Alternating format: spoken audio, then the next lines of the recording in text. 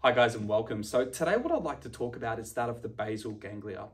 And now I know that might scare a few of you and I think that's for a really good reason. The basal ganglia is very inherently complex and so what I'd like to do is to try and break this down into its fundamental components in hope of you having a better understanding of where is it, what does it do, and why is it that you need to learn it.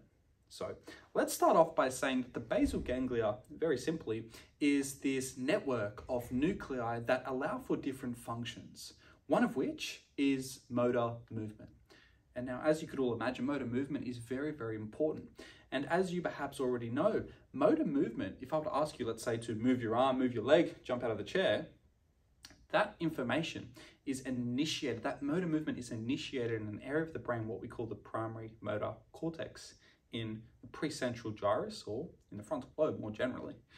But it's not actually where it's executed. Where it's executed and where it's actually regulated to check if we can perform that movement or not is in an area of the brain what we call the basal ganglia. Now, what I have up here on the board is a coronal section with a lot of different structures in it.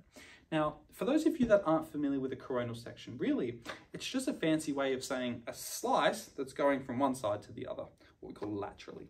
So I'm going to demonstrate that here by just removing this piece of brain here and showing you what's inside. So if you're looking inside here, what you're going to note is that firstly, this is a coronal section and that's what we're looking into similar to the board.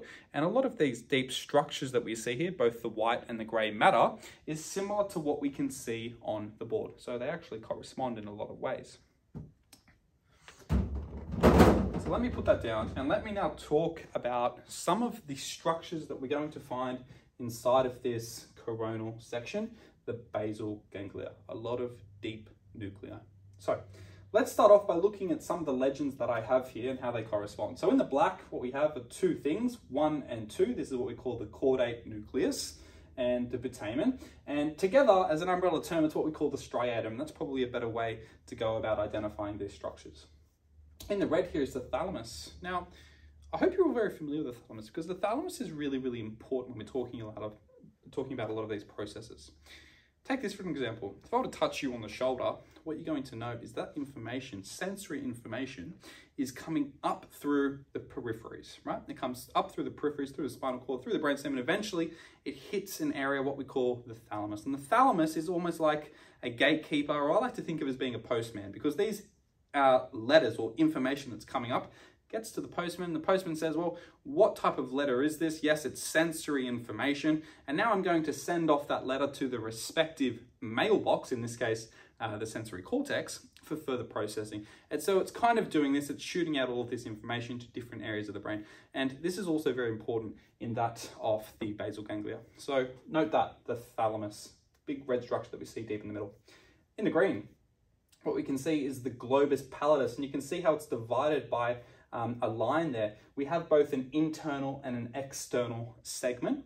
And then we have in the pink, the subthalamic nuclei. And that kind of makes sense when you're thinking about that name, sub, almost like a submarine, and thalamic, of course, relating to the thalamus and nuclei, as we already know, the nucleus. So underneath the thalamus, and you can see that there. And then in the purple here, what we have is the substantia nigra, and I'll talk about what that means in just a moment. Now, let's have a look at something very, very important when we're talking about movement or specifically muscle movement.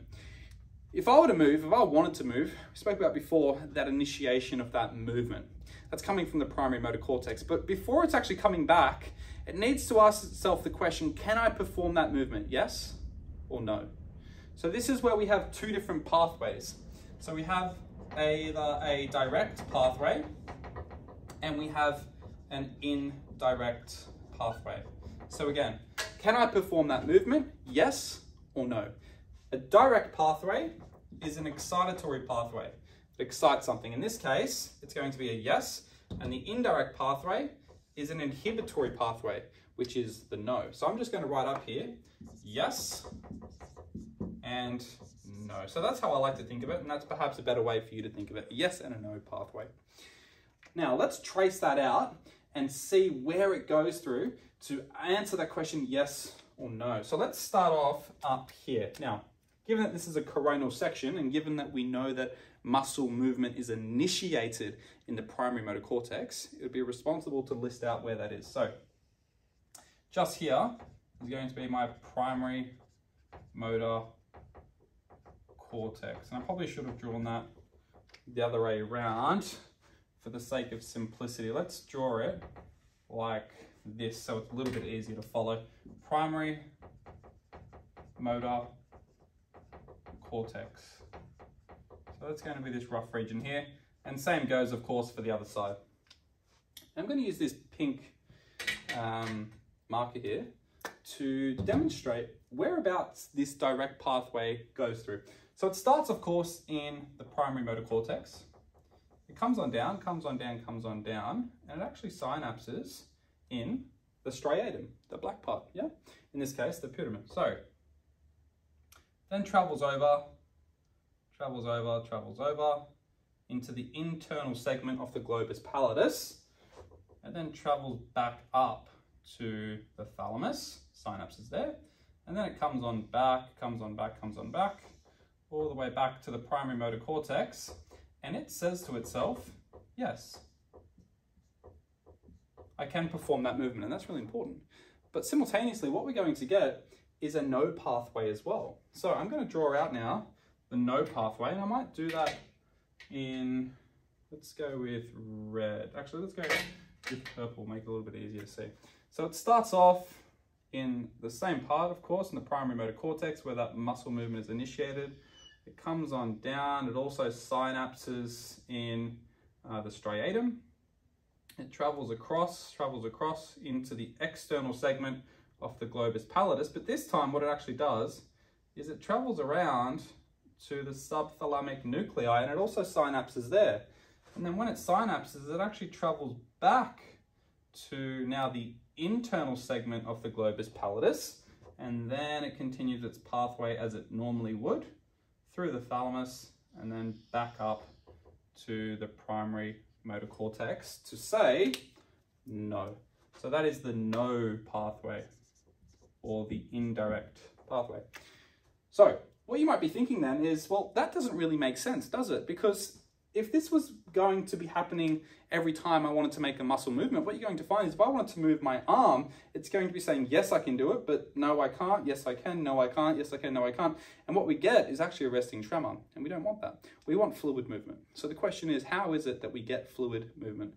The answer to that question, very simply, it comes from the substantia nigra. And so what we can see down here in purple is the substantia nigra and it's responsible for secreting something called dopamine, and I'm sure you've all heard of that before.